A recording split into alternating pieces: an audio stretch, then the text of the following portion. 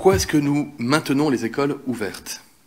La fermeture des écoles, c'est une décision de dernier recours, que nous voulons à tout prix éviter parce que nous savons qu'elle a des conséquences très lourdes sur le développement des enfants et sur le quotidien des parents. Nous ne nions pas que le virus peut aussi se transmettre à l'école, puis de l'école vers les familles.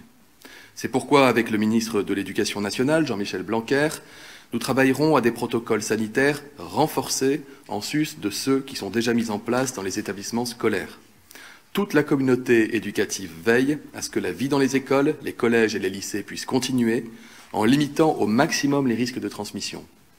Nous organisons aussi, vous le savez, des campagnes de dépistage collectif avec les tests salivaires et lorsqu'il le faut, nous fermons des classes. Hier, 2962 classes étaient fermées et 105 écoles. Nelson Mandela disait que l'éducation est l'arme la plus puissante que l'on peut utiliser pour changer le monde.